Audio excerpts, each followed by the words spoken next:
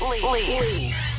So when we're talking edibles 101, um, we, you know, most people have had a bad experience with edibles, Yep, and that's right usually I could talk about that. 101. And uh, you know, for the first like five or six years of publishing the different Leaf magazines, I would not eat edibles because they were always like triple X brownies, and Oh, right, you know, yeah. You eat a corner of it and you're like having a meltdown.